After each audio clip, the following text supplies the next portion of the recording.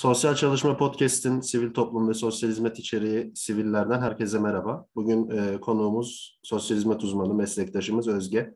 Merhaba Özge, hoş geldin. Merhabalar, hoş buldum. E, bugün gene e, sivil toplum alanında çalışan e, bir meslektaşımızın deneyimlerini e, konuşuyor olacağız. E, seni kısaca tanıyarak başlayalım. E, kimdir Özge? Ner, e, nereden mezun? Nerelerde çalıştı? Hangi alanlarda çalıştı? Hacettepe Üniversitesi 2017 yılı Sosyal Hizmet Bölümü mezunuyum. Hı hı. Ee, aslında tam anlamıyla sosyal hizmet uzmanı diyebilirim sanıyorum. Çünkü e, aynı zamanda master'dan da mezun oldum. E, o yüzden hani uzmanlık kavramını tam anlamıyla yerine getirdim diyebilirim. En azından ünvan olarak. Ee, daha sonrasında bu master'ımın ilk senesinde Ankara Yıldırım Beyazıt Üniversitesi'nde klinik sosyal hizmete kabul almıştım. Ama bu beni çok tatmin etmedi açıkçası. O sebepten kaynaklı olarak da yurt dışında bir master deneyimi elde etmek istedim. Bir de yüksek lisans benim için birazcık daha lisans hayatımda tamamlayamadığım ya da yarım bıraktığım şeylerin telafisi gibi bir nitelik taşıyordu. O sebeple de yurt dışı için e, Erasmus'a başvuruda bulundum. Daha sonrasında kabul aldım Almanya'daki bir üniversiteden ve bu şekilde aslında sürecim devam etti. Ee, Covid-19 patlak verince Türkiye'ye geri dönmek zorunda kaldım. Daha sonrasında da öncelikle bir vakıfta ve daha sonrasında da sivil toplum örgütünde çalışmaya başladım. Hangi alanda çalışıyorsun şu an peki?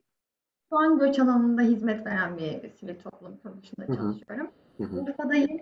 Bundan öncesinde de Antep'te çalışıyordum. Hı. Böyle bir e, aslında tam olarak göç alanında böyle e, nasıl diyeyim büyük bir sahada e, çalışma fırsatını yakaladım.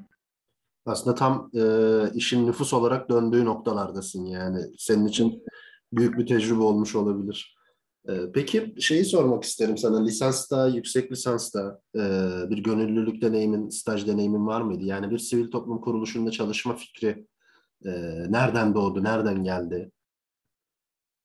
Vardı. Şöyle aslında, zaten Hacettepe Üniversitesi biraz açıkçası bu tarz konulara çok açık bir üniversite. Hı hı. Zaten birçok aslında etkileşim topluluğu sayesinde ufaktan bu tarz işlere başlayabiliyorsunuz. Bir de bölümümüzün aslında bir gerekliliği gibi bir durum söz konusu oluyor. Hı. Zaten lisans hayatımın hani son bir yılı zorunlu staj kapsamında olduğu için bir 6 ay bir kreşte, gündüz bakım evinde staj yaptım. Diğer 6 ayda da bir psikososyal aile danışma merkezinde aile danışmanının yanında şey yaptım, staj yaptım. Daha sonrasında da Keçiören Sosyal Yardımlaşma Dayanışma Vakfı'nda yine bir yıl boyunca bir stajım oldu ama bu master'ın ilk senesi için. Yani aslında hep eğitim hayatımın birer parçası olarak devam etti. Ama buna bağlı olarak da işte bahsettiğim gibi öğrenci toplulukları sayesinde biraz bu işte Avrupa AGH dediğimiz, EVS dediğimiz Avrupa Gönüllü Hizmetleri vesaire gibi programlara işte ilgi duymaya başladım. E, açıkçası şöyle düşünüyordum. Bir lisans öğrencisi olarak e, mezun olacağım ve mezun olduğum yaşta e, diğer ülkelerde e, elde edilen fırsatlar neler ya da işte bizim alanımızda neler dönüyor bunları gerçekten çok merak ediyordum diyebilirim. Biraz çıkış noktam burası oldu. Ee, ve staj hayatım boyunca işte farklı kamu kurum kuruluşlarında ya da kreşlerde vesaire özellikle sektörde e, bunları da görünce hani hem dezavantajları hem avantajları daha iyi hissedebiliyorsunuz. Biraz öyle bir e, yön çizmek istedim açıkçası. Yani farklı alanlarda aslında kamu, özel, STK'da staj yapmak çok faydalı olabiliyor galiba kariyerin sonrası için. Kesinlikle öyle çünkü e, takdir edersiniz ki lisans hayatınızda aslında e, azar azar ortaya karışık gibi bazı e, dersler alıyorsunuz. Aslında Seçim biraz kamu, evet. kamu odaklı sosyal hizmet eğitimi. Evet, yani on, ondan kaynaklı e, tam olarak hangi alanda gerçekten uzmanlaşmak istediğinizi çok e, bilemeyebiliyorsunuz. Hı hı. E, çoğu zaman işte e, akademisyenlerle veya diğer e, sizinle aynı fikri paylaşan arkadaşlarınızdan fikir alarak tavsiyeler üzerinden hareket ediyorsunuz. Ama e, deneyimleyerek aslında bir şeyleri tercih etmek ve o alanda uzmanlaşmaya yönlenmek daha sağlıklı olabilir. Peki şu an e, bir sosyal hizmet uzmanı e, olarak mı görev yapıyorsun? Ünvanın tam olarak ne şu an? Ee, daha önce Antep'te çalışırken e, koruma biriminde çalışıyordum ben. E, tam olarak aslında vaka yönetimi yani sosyal hizmetin tam bir göbeği diyebilirim. E, GBV ve LGBTİ artı bireylerle daha çok e, çalışıyordum. E, işte ya da insan kaçakçılığı mağduru ya da insan ticareti mağduru vesaire gibi bu tarz koruma görüşmelerine giriyordum. Tam olarak dediğim gibi sosyal hizmet uzmanının aslında bütün e, o planlı müdahaleler için basamaklarını kullanabildiğimiz bir süreç vardı. Daha sonrasında ama e, proje bazlı çalıştığınız için şunu görmek istedim. Yani biz e, bir datamız var ve verilerimizi buraya giriyoruz. Nitel görüşmelerin de aynı şekilde veri aktarımını yapmamız gerekiyor. E, bu tarz durumlar oluyor ama hani girdi olarak siz sağlıyorsunuz bu veriyi. Fakat e, geniş bir perspektiften bakamıyorsunuz. Yani aylık bir raporlama söz konusu oluyor ve ben e, bunu merak ediyorum. Yani girmiş olduğum ya da işte yaptığım görüşmelerin çıktısı neler bunu çok merak ettim ve e, açıkçası birazcık daha hani bu merakımın üzerinden devam ettim diyebilirim. O yüzden şu an Urfa'da izleme ve değerlendirme sorumlusu olarak çalışıyorum. Peki e, bir izleme ve değerlendirme sorumlusu tam olarak ne yapıyor? Yani istatistik verilerin toplanması ve donör kuruluşlara raporlanması mı sadece? Yoksa hizmete dair e, tam olarak ne işlev görüyor? Aslında bu e, çalıştığınız sivil toplum kuruluşuna göre de değişiklik gösterilebilir. E, tabii ki title aslında genel bir title ama e, ben şu an aynı zamanda Urfa'da proje odak kişisi olduğum için Hı hı. e, sadece izleme değerlendirme yapmıyorum. E, bizim şu anda bağlı bulunduğumuz projemiz sosyal uyum ve istihdam projesi aslında daha önceki koruma biriminde çalıştığım projeden bambaşka bir e, alana kaydırılmış bir proje. E, dolayısıyla aslında burada tam anlamıyla sadece izleme, değerlendirme, raporlama değil, İK süreçleri yani insan kaynakları, e, kaynak yönetimi bir de gerçekten kaynakla e, hizmet yani yararlanıcı dediğimiz kitleye o hizmetin ulaştırılması noktasında bir aracı rol üstleniyorsunuz. Hı hı. Buna bağlı olarak da e, kamu kurum kuruluşlarıyla biz e, kurumsal iletişim de yine aynı şekilde devreye giriyor.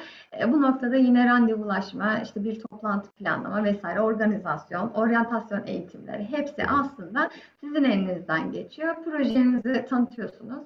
E, daha sonrasında e, farklı kurum kuruluşlarla anlaşma yapıyorsunuz ve onlara e, işte bütün özlük hakları sizde olması kaydıyla personel yerleştirme vesaire yapıyorsunuz. Hı hı. O yüzden aslında İşkur, işte SYDV, diğer kurum kuruluşu hepsi aslında bir bütün. E, Dolayısıyla burada sosyal hizmet uzmanı sanıyorum kaynak yönetimi, işte raporlama, e, süreci takip etme yani bu basamakları daha e, etkin olarak kullanabiliyorsunuz diyebilirim. Yani aslında bir yandan da e, işin mikro ayağı bir tarafta çok önemliyken aslında lobicilik faaliyetleri vesaire üzerinden bir makro sosyal hizmet işi de yapılıyor aslında bu e, ünvanlı diyelim yani. Kesinlikle zaten az önce bahsettiğimiz gibi şöyle bir durum da oluyor. Zaten aylık biliyorsunuz bir hesap verilebilirliğiniz var, bir saydamlık söz konusu. Dolayısıyla bu da bir izleme değerlendirmenin aslında bir farklı bir alt ayağı. O yüzden hesap verilebilirliğin sağlıklı olması adına aslında her şeyi kalem kalem raporlamada belirtmeniz bekleniyor sizden. E, Bu raporlamayı sağlıklı yapabilmeniz için de nicel verilerle desteklemeniz gerekiyor. Bunun için de veri toplama araçlarını aktif kullanabiliyor olmanız gerekiyor. İşte Kobo Toolbox ya da SPSS vesaire gibi ya da Python ya da Power BI vesaire gibi bir sürü aslında programları bilmeniz bekleniyor. Ee, Bunun üzerinden verileri topluyorsunuz ve veya datada varsa işlenen bir veri giriş çıkışı Hı hı. e, onları SQL yardımıyla çekersiniz ve bu şekilde raporlamaya aslında destekler nitelikte nicel veri sunarsınız. E, Böyle bir süreçteyim şu an. Anladım, anladım. Evet, süper. Aslında işin birazcık daha farklılaştığı ama bir yandan da farklılaşmadığı bir nokta yani. Birebir bir saha çalışması yok belki ama gene de e, sosyal hizmet uzmanlarının e, çok yoğun olarak yaptığı o raporlama, masif raporlama yani büyük e, raporlama işi aslında bu izleme asistanlığı kısmında e, çok ciddi bir yer e, kaplıyor belli ki. Ben çok o kısmını bilmediğim için soruyorum sana. Şöyle bir durum da oluyor aslında bakılırsa. Sosyal hizmet uzmanıysanız yani o alandan geliyorsanız Hı hı. e, raporlama daha sağlıklı olabiliyor diyebilirim. Çünkü şöyle bir durum e, ortaya çıkıyor. E, örnek verecek olursam bir anket tasarlamanız gerekiyor. Anket sorularını e, uygulayacağınız yaş grubu e, atıyorum 7-8 yaş grubuysa onların aslında algılayabileceği kelimeleri tercih etmeniz gerekir. E, bunu da alandan aslında gelmeyen birçok arkadaşımız e, birazcık daha farklı sorulara yöneldiği için çok anket amacına hizmet edemeyebiliyor gibi e, bu tarz durumlar oluyor. Ya da elde ettiğiniz verileri yorumlamanız bekleniyor sizden bir sunumda.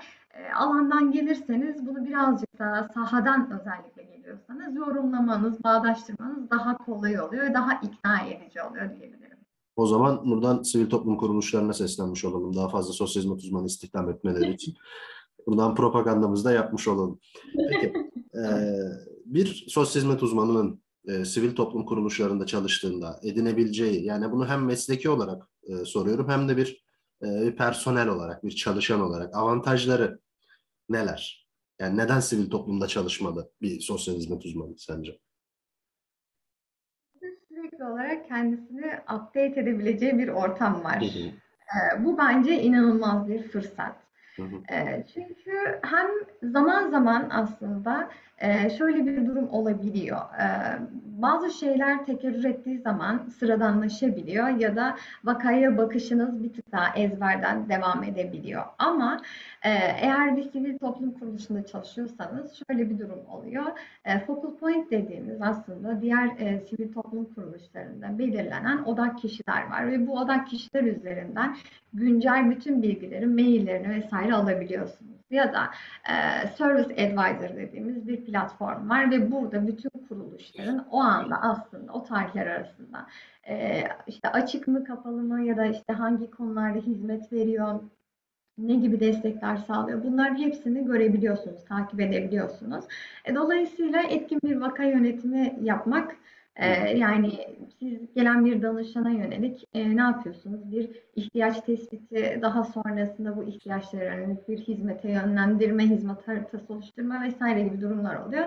E, o yüzden e, sürekli olarak kendinizi update edince doğru yönlendirme, e, doğru çıktı yani doğru sonuç e, elde etmenizi sağlıyor. Bu çok iyi bir şey. Hı hı. E, aynı zamanda da farklı meslektaşlarınızla aslında bir araya gelebilirsiniz. Bu çoğu zaman zaten seminer, konferans, kongre e, düzenleniyor. Çok sık sık oluyor.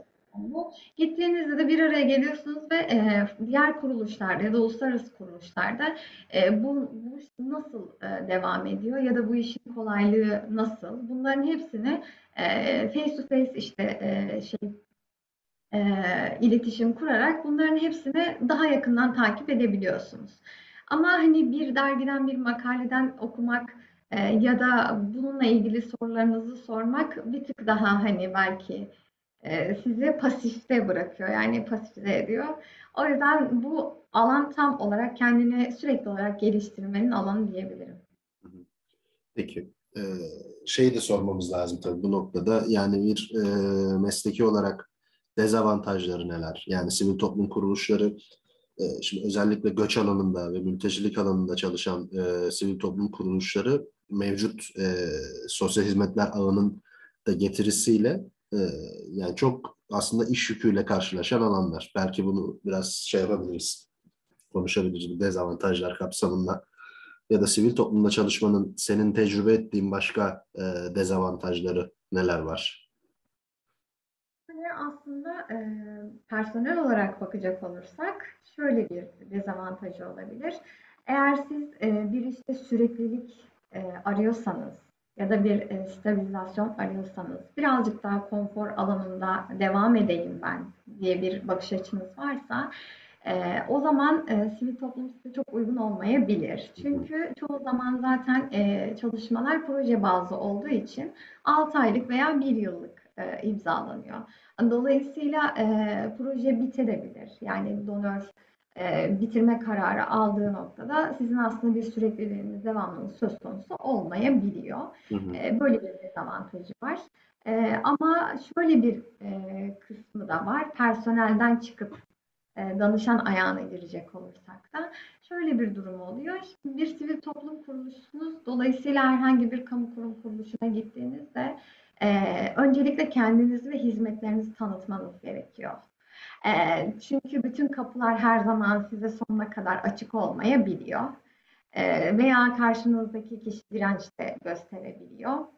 E, dolayısıyla bu noktada sıkıntılar meydana gelebiliyor diyebilirim. Peki bu e, proje bazlı çalışma e, ile ilgili biraz daha üstünde durmak isterim. Çünkü en çok zorluk yaşanan alanlardan birisi bu. E, yani edinilmiş bazı haklar var bir yerde çalışıyorsunuz ama bir yandan bir, bir anda şey bitebiliyor yani. Bu çok aslında risk içeren bir şey. Evet. Evet, yani Yani biraz zorlu bir durum herhalde. öyle e, ama bir taraftan da şöyle bir e, durum oluyor. En azından bendeki etkisi bu şekilde. Kendimi daha dinç hissedebiliyorum.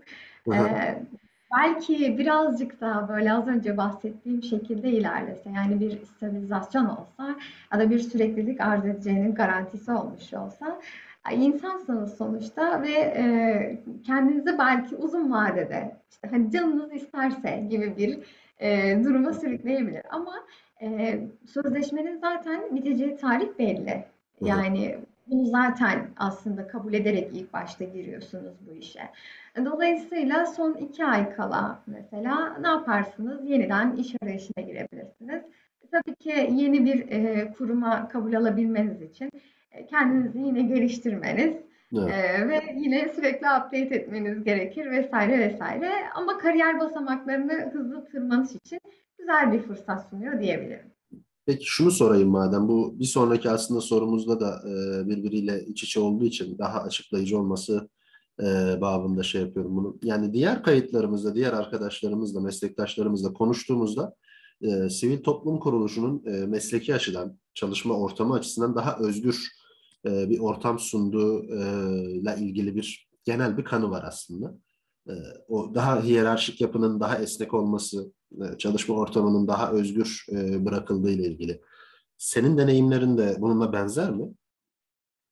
Katılıyorum buna. Eee, çünkü tabii ki yine bir aslında eee, kurum politikası var. Tabii ki yine bir çerçeve var ama eee, bir kamu kurumuna göre birazcık daha rahat hareket edilebiliyor diyebilirim. Ya da eee, rahat hareket edebilmeniz için siz iyi bir sunum yaparsınız ya da sonucunda elde edeceğiniz şeyleri iyi bir biçimde gösterebilirseniz e, sizin için bu kurallar esnetilebiliyor zaman zaman. Hı hı. Eee, bu gerçekten güzel bir fırsat bence. Çünkü eee, şöyle bir durum söz konusu değil. Yani etkili ve verimli çalışmak sivil toplum için bence eee, kilit bir nokta oluşturuyor diyebilirim.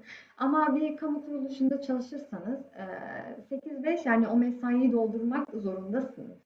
Hı hı. Eee, yani mesaiden önce işiniz bitmiş olabilir ama çıkıp gidemezsiniz gibi. Ama sivil toplum kuruluşlarında özellikle uluslararası kuruluşlarda eee, birazcık daha aslında rahat bir çalışma koşulu söz konusu olabilir Hı hı. Hı hı. diyebilirim. Peki bu e, daha özgür, daha az e, hiyerarşik sivil toplum kültürünün e, sosyal hizmet alanında ne kadar yaygınlaştığını düşünebiliriz. Yani bu şimdi hep hani bunu e, sık sık ben e, tartışıyorum. Bazen tam anlaşılamayan sorulardan birisi bu. E, şeyi merak ediyorum bunun ne kadar yansıdığını. Şimdi hep şeyden bahsediyoruz ya işte sosyal hizmet eğitimi daha kamu, daha istihdam ağırlıklı. Şurada yani 2013-2014 e, senesine kadar sosyal hizmet uzmanlarının büyük bir çoğunluğu, gerçi hala öyle diyebiliriz ama kamuda istihdam ediliyordu. Ama özellikle işte 2013-2014 e, itibariyle birlikte bir sivil toplum alanı böyle bir hızlı bir şekilde giriş yaptı sosyal hizmet alanına. Bu hem sosyal hizmet eğitimini hem işte sosyal hizmet uzmanlarının bakış açılarını e, etkiledi mi? Etkilediyse ne kadar etkiledi ya da etkilemedi mi? Ne durumda sence? Yani sahada gözlemlediğin, meslektaşlarımızdan gözlemlediğin, yüksek lisans eğitiminde gözlemlediğin e, bir değişiklik var mı sence? Var eee, ama sanıyorum bu işte dediğim gibi eee, yüksek lisans yaptığınız kuruma değiş kuruma göre değişiklik gösterebilir ya da em, karşılaştığınız diyeyim akademisyenlere göre değişiklik de gösterebilir. Eee, ama en azından kendi açımdan düşündüğümde bir farklılaşma olduğunu sezinliyorum açıkçası. Çünkü eee, son zamanlarda özellikle kamu kurumlarında çalışan sosyal hizmet uzmanları bir sürü arkadaşım var. Ve e, arkadaşların aslında mesleki anlamda çok da tatmin olamadıklarını görüyorum. Hı Bu hı. bence gerçekten çok önemli bir kısım. Çünkü e, maddi anlamda da çok da aslında bir doyurulmuş söz konusu değil açıkçası. E, bundan kaynaklı olarak hani e, maddi anlamda motiv, motive olamayınca e, diyorsunuz ki mesleki anlamda tatmin olmayı bekliyorsunuz doğal olarak. Yani bir yerden eğer eksi varsa diğer taraftan dengelemek için bir sebep arıyorsunuz. Ama e, çoğu zaman aslında e, bunu da yaşa yaşayamadıklarını görüyorum. E, dolayısıyla e, bu kısım artık böyle bir tık daha sivil topluma doğru kayıyormuş gibi e, geliyor açıkçası. E, bu kısım hem güzel hem değil e, açıkçası. Çünkü e, iyi bir uzman olabilirsiniz ama e, size çizilen bir çerçeve var ve bunun dışına çıkamıyorsanız e, bu zamanla sizi sizin hem motivasyonunuzu kırar hem de e, artık o çarka diyeyim belli bir saatten sonra ayak uydurmanız beklenir ve siz de farkında olmadan aslında buna ayak uydurursunuz ve bu şekilde devam eder bu sirkülasyon. E, ama şu an hala üniversitelerin e, bölümlerinin derslerine baktığımda çok da aman aman bir değişiklik olduğunu söyleyemeyeceğim maalesef. E, keşke olsa çünkü e, tabii ki yani çok klişe olacak belki ama teoriyle pratik gerçekten çok çok uymuyor. Evet birbirini destekleyebiliyor ama e, mesela bir sosyal hizmet uzmanı olarak ben e, üniversitenin bünyesinde seçmeli olarak eğer göç alanında çalışmak istiyorsam bir Arapça ya da bir e, İngilizce ya da bir e, işte Ukraynaca vesaire gibi farklı dilleri e, seçebilmeliyim diye düşünüyorum. E, bunlar aslında çok da sunulması zor olan şeyler değil. Ama hala böyle bir durum söz konusu değil.